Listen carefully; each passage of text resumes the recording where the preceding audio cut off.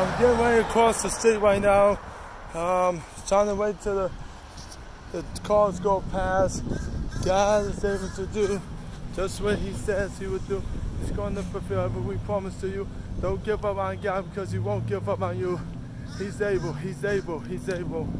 I love you, Jesus. I know it's been hard. I know it's been tough. I know it's been tumultuous.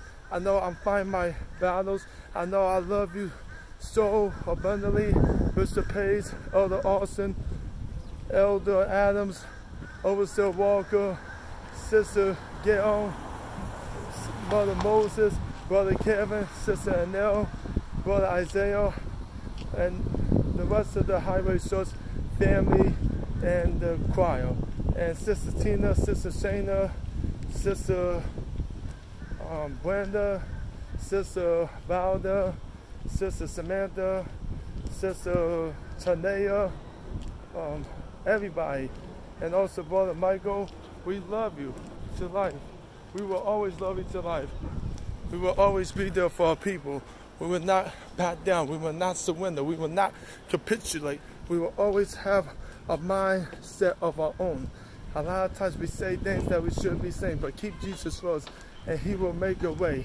He has to make a way. If he did it for the Jews, if he did it for the Gentiles, if he did it for the Pharisees, he'll do it for all of us.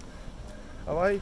So that's why we should stereotype or uh, label others. We should call them out their names. We should call them by their name, not call them out by their names. Because if we're calling out by their names, it's like we don't care. We don't have a filter of our mouths.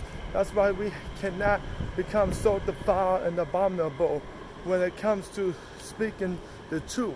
We cannot have all this hatred and abomination and all this animosity towards all American people. We, it's time for us to take a stand. It's time for us to make a pledge, make a declaration.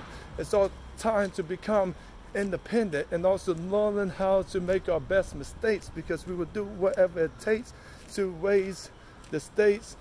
But just remember, if you make a bet, make sure it's a good bet and not a bad bet. Because people make bad bets and they wind up losing their money. So that's why we have to be very mindful of what we're doing. Because I did not know this day was going to turn out this way, but I thank the Lord I was able to see my sister Cynthia Hill at the University Hospital, and I am so glad she's doing well. She's helping herself. She's and I want everybody to pray for me at the highway church as much as they can because I need to be able to stay successful because I have only two more days till I get ready to go back to work on Saturday. So keep the faith, keep your head up. Don't give up on God because He won't give up on you. He's able. I need to stop talking so much. So I'm gonna have to do my videos a little bit earlier during the day. So please help me, guide me, Please help me be with friends that are going to be in my corner, be in my haste, be my provider, my redeemer, my comforter, my restorer, my shelter, my friend, my deliverer, my trusty, my pavilion, my provider, my healer, my redeemer, my refugee, or uh, my refuge. Who shall trust? The Lord who is strong and mighty, the Lord uh, that who's strong and mighty in battle. And I know it's been a battleship with this pandemic. I know it's been a battleship with this inflation, a battleship with finances. But at the end of the day, we have to know how to give it to God. We, Malachi 10 says,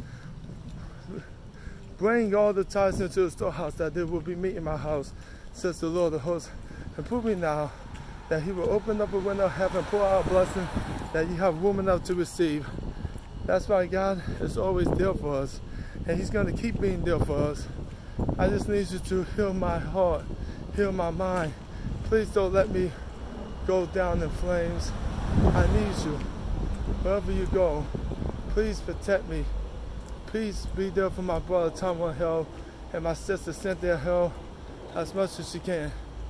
All right. God bless you. Much love. Keep the faith. We will get through this.